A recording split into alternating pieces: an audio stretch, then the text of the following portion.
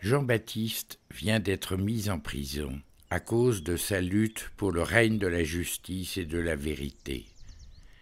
Il avait été le premier à annoncer la venue du royaume du Christ, et c'est à lui qu'il fut donné de présenter le Messie à Israël comme l'envoyé de Dieu. Et le voilà maintenant enfermé derrière les murs d'une cellule au fond d'un cachot. Le signe est fort, une page vient de se tourner. Jean s'efface et laisse la parole à celui qui est la parole même.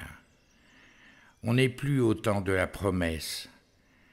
La parole va parler d'elle-même.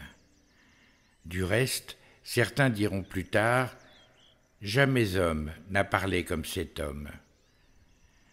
Quel bonheur pour l'homme d'écouter enfin Dieu parler de Dieu sans passer par ses amis les prophètes. Cependant, comme à son habitude bienveillante et amoureuse, Dieu décide d'associer des hommes à son œuvre. Jésus se choisit des disciples pour sa mission. Il vient sauver l'homme et associe l'homme à son plan de salut. Et ceux-ci, comme Marie et Joseph, répondent librement et spontanément à l'appel du Seigneur.